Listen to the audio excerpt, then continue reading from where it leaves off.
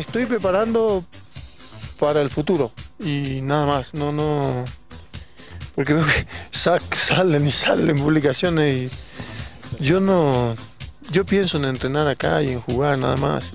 El capitán atigrado se toma su tiempo para decidir sobre su futuro. Mientras eh, el cuerpo me dé y pueda seguir compitiendo y pueda ser útil al cuerpo técnico, al club, eh, lo voy a hacer.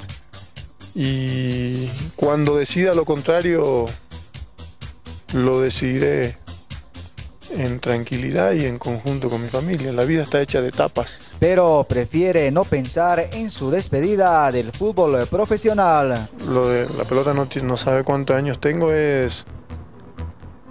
O sea, yo no ando por la vida pensando... Yo no sé si ustedes van pensando por su vida cuántos años tienen todos los días. Yo no, o sea...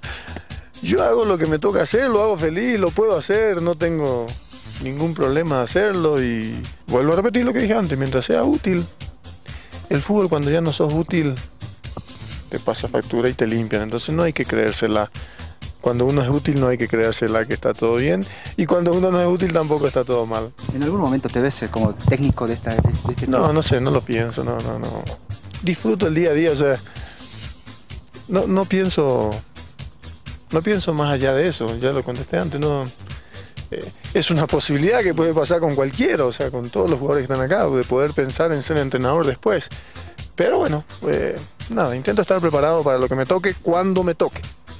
Si yo empiezo a pensar ya en eso, voy a empezar a dejar de, hacer cosas que, tengo que hacer, que es entrenar fuerte, entrenar duro eh, y tratar de sumar para el equipo.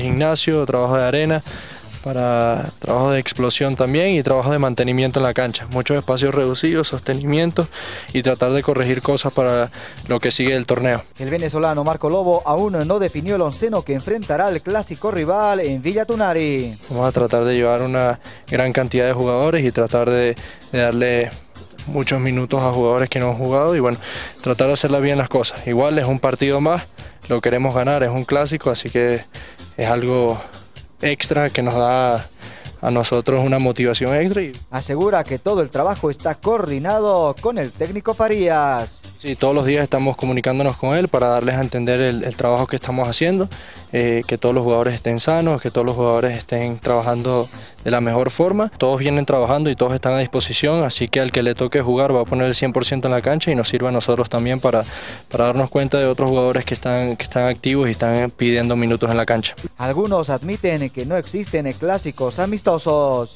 Yo personalmente, más allá de que sea amistoso oficial, una vez que el árbitro pita uno se olvida y uno entra y, y da el máximo, pero bueno, eh, uno a veces tiene que ser también un poco inteligente y y ya los profes también saberán manejar las cargas y, sabrán dar los minutos adecuados a cada jugador. El mediocampista Richard Gómez aparecería en el mediocampo jugando junto con Beizaga. Sí, sí, ya que algunos jugadores fueron a la selección, eh, hay, que, hay que aprovechar la, la gente que le toca ya que todos estamos preparados para para las oportunidades que, nos dan. Yo me veo jugando como, como otros compañeros también que estamos peleando el puesto, pero, pero es una competencia sana y al que le toque estar va a dar lo mejor que tiene.